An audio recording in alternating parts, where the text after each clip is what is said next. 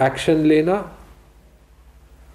और हर जो अफसोसनाक वाक़ होता है, उससे मज़ीद सीखना और सिस्टम को बेहतर करना। आज सुबह से हॉस्पिटल के इंतज़ामिया से चीफ सेक्रेटरी साहब से, चीफ मिनिस्टर साहब से एन सी ओ सी से फेडरल हेल्थ मिनिस्टर से, सबसे कोऑर्डिनेशन में रहे रहे। और खैबर पख्तूनख्वा और पूरे पाकिस्तान के अवाम को ये कमिटमेंट देना चाहते हैं चीफ मिनिस्टर और गवर्नमेंट खैबर पख्तूनख्वा की तरफ़ से, कि हम इस वाक्य की इन्वेस्टिगेशन जब करेंगे तो we'll get to the bottom of it और हकाइक शफाफ तरीके में हम खुद ही जो है वो बताएँगे।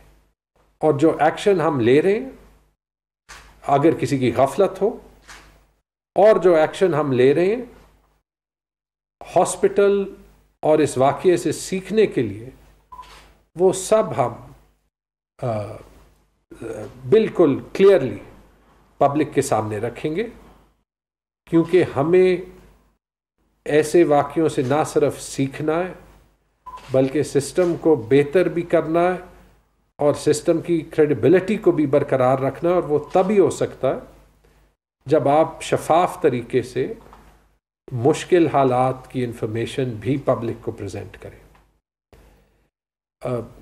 हमने आज ये प्रेस कॉन्फ्रेंस हालाँकि बुलाया इस मकसद के लिए नहीं था। कामरान और मेरा दोनों का ताल्लुक पेशावर से है। इस प्रेस कॉन्फ्रेंस में सबसे पहले इस वाक़े पे बात करना जो है वो लाजिम था। जो जाने ज़ाया हुई हैं, वो करोना वायरस के वार्ड में ही हुई है। करोना वायरस पे हम बात करना चाहते थे। और इसीलिए हम इस सिचुएशन में, इस पोजीशन में पूरा मुल्क बल्कि पूरी दुनिया एक तकलीफ़ दे मरहले में पहुँच रही है। लेकिन एक बार फिर ये कमिटमेंट कि जो हमारा काम है गवर्नमेंट होते हुए, वो ये है कि तनकीद भी बर्दाश्त करें। जो सिस्टम की खामियाँ हैं, जहाँ पे वो हैं, उनको भी देखें और जितना भी काम हुआ, वो मैं हमेशा कहता हूँ, काम और इम्प्रूवमेंट बहुत सी हो सकती है। लेकिन उस तनकीद उस क्रिटिसिज्म के बावजूद लोगों को ये बताना और ये प्रूव करना कि हम उनके लिए उनकी हिफाजत के लिए आ, काम कर रहे हैं काम करते रहेंगे। जो प्राइम मिनिस्टर साहब की विज़न है और जो लोगों ने इस गवर्नमेंट पे ट्रस्ट किया है चाहे ऐसे मौके पे भी जब पब्लिक का गुस्सा हमें अपनी कोशिश भरपूर तरीके में करनी है, ताकि सेहत का निज़ाम डिलीवर करे और ज़्यादा से ज़्यादा जाने बचा सके। उसी लिहाज से हम आपको एक और मैसेज देना चाहते थे, सारे खैबर पख्तूनख्वा के अवाम को। और वो है करोना वायरस के एस ओ पीज़ के तहत। बड़ी ज़बरदस्त तरीके में हमारी कौम ने इस चैलेंज से निपटा जो पहली लहर थी। और दुनिया में शायद कोई भी मिसाल ना मिलती हो कि जिस तरीके से पाकिस्तान ने इकट्ठा होके करोना वायरस के चैलेंज से गुज़रे। लोग गवर्नमेंट ने जैसे गरीबों का हेल्प किया कौम ने अपनी बिहेवियर चेंज की। हमारे हेल्थ वर्कर्स ने फ्रंट फुट पे आके बहुत सी जानें बचाई और कम से कम नुकसान उठाकर हमारी मीशत भी इस वजह से लोगों की दुआओं और, और और और बहुत से हेल्थ वर्कर्स की मेहनत की वजह से जो है वो निकली। लेकिन आज एक दूसरी लहर दोबारा आ चुकी है। जो ये वाक़ हुआ था के टी एच हॉस्पिटल में वहाँ पे नबे बेड्स हैं और नबे करोना वायरस के मरीज़ थे। जो पेशावर में बाकी हॉस्पिटल्स हैं, बड़े, लेडी रेडिंग हॉस्पिटल, वहाँ भी तकरीबन इतने मरीज़ हैं और हयातबाद मेडिकल कॉम्प्लेक्स, वहाँ भी तकरीबन सौ से ज़्यादा मरीज़ जो है वो कल थे और 150 की कैपेसिटी है। ऐसे टाइम में जब हमें पता है कि हमारा हेल्थ सिस्टम भी अंडर प्रेशर आता है। जो भी हॉस्पिटल में होता है, किसी फैमिली मेंबर को ले जाता है, उसको तकलीफ़ होती है। हमें माशरे को भी और मीशत को भी और सेहत के सिस्टम को भी बचाना है। और उसमें हमें एक जगह पे इम्प्रूवमेंट करनी है। और वो है कि पब्लिक एस का ख़ास तौर पे पब्लिक जगहों पे जहाँ पे लोग ज़्यादा हो मास्क के पहने का लेकिन उसके अलावा डिस्टेंसिंग का आ, हाथ धोने का सैनिटाइज़र इस्तेमाल करने का आ, उसकी इम्प्लीमेंटेशन पे अमल करे। और एक माशरा अपना बिहेवियर चेंज करे।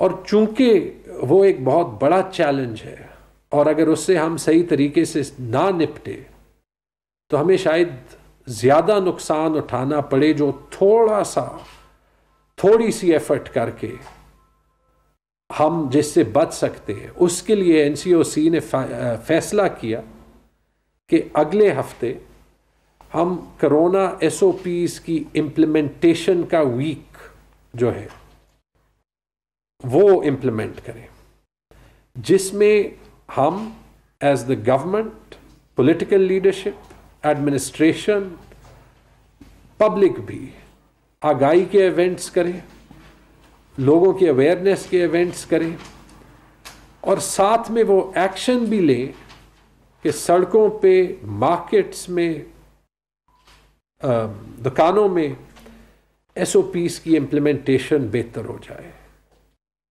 ये हम इसमें भी इंडिविजुअल लोगों को तकलीफ़ पहुंचेगी कहीं पे गवर्नमेंट को मार्केट्स बंद करने पड़ते हैं कहीं पे सख्त फैसले करने पड़ते हैं रिस्ट्रिक्शंस लगाने के। और हम वो नहीं करना चाहते। और इसलिए नहीं करना चाहते कि मीशत चले आ, लोगों का कारोबार चले। गरीब आदमी जो है वो घर तनख्वाह प्राइवेट सेक्टर से भी उठा सके। और उसके लिए हमें आपके ताउन की ज़रूरत है। और उसकी अवेयरनेस के लिए हम ये एस ओ पीज इम्प्लीमेंटेशन का वीक जो है वो मना रहे हैं। इसमें पब्लिक से यही रिक्वेस्ट है कि हमारे साथ ताउन करें। थोड़ी सी तकलीफ़, बहुत सी तकलीफ़ उठाने से बहुत बेहतर है।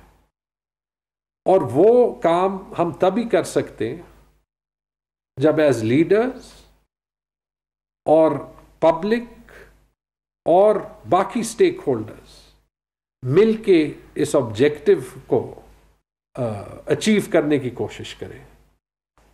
इसमें हमारी रिक्वेस्ट भी है पब्लिक की ओपिनियन मेकर्स की स्टेक होल्डर्स की कि हमारी मदद करें इस हफ़्ते को कामयाब बनाएँ। और इसलिए भी है कि हम हेल्थ सिस्टम को बचाएँ और इस दूसरी लहर से सक्सेसफुली निपटें। जी आ, मैं सिर्फ़ इतना बता देना चाहता हूँ कि रियासत या हुकूमत की मिसाल एक माँ के जैसे होती है। हमें बतौर रियासत और हुकूमत कोई सख्त फैसले लेने पड़ते हैं। ये जो इन्फोर्समेंट वीक हम मनाएँगे पाँच दिसंबर से बारह दिसंबर तक, इसका मकसद यह है कि लोगों में थोड़ी सी डेटरेंस भी क्रिएट हो अवेयरनेस भी हो। जैसे आज का वाक़ आपने देख लिया के टी एच में जो नाखुशगवार, अफसोसनाक और दर्दनाक वाक़ पेश आया। ये तभी होते हैं जब आपका सिस्टम ओवरलोड हो जाए। आपकी सप्लाई और डिमांड का डिफरेंस बहुत ज़्यादा हो जाए। और हम अब उसी फ़ेज़ से गुजर रहे हैं। यही हुकूमत, अवामी हुकूमत, हमने सख्त फैसले किए पहली लहर में। हमने, हम स्मार्ट लॉकडाउन की तरफ़ चले गए। ऑपोजिशन ने, दीगर जमातों ने कहा कि कंप्लीट लॉकडाउन बहुत से लोगों ने कहा। लेकिन इमरान खान ने क़यादत शो की। हमारी सूबाई हुकूमतों ने लीडरशिप शो की। हमारे हेल्थ मिनिस्टर्स ने फ्रंट फुट पर आकर ये ज़िम्मेदारी ली कि हमने मीशत को भी साथ में चलाना है। और उसके सम्राट आना शुरू हुए, हमारी माशी सूरत हाल बेहतर होना शुरू हुई। जो पूरी दुनिया डेवलप्ड वर्ल्ड तरक्की याफ्ता ममालिक जिस मुश्किल से गुजरे, खरबों डॉलर्स की उनकी इकोनॉमीज बैठ गई। पाकिस्तान, अल्हम्दुलिल्लाह, पहली लहर से सुरखरू होकर गुजरा।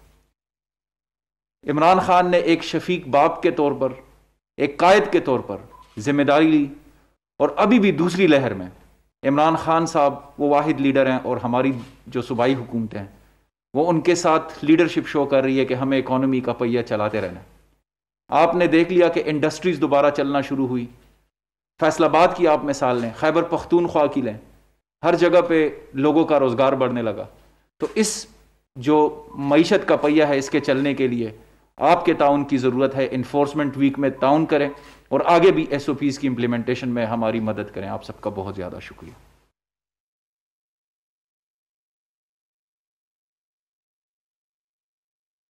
पख्तूनख्वा के वज़ीर सेहत और मुआवन खसूस इतलात की प्रेस कॉन्फ्रेंस तैमूर सलीम झगड़ा ने कहा कि ऑक्सीजन की कमी के बायस सानहा पेश आया।